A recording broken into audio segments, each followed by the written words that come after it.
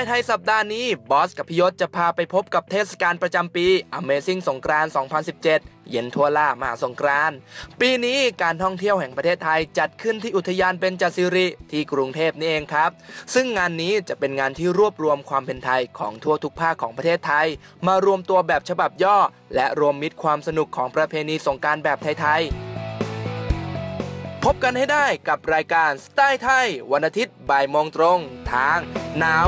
26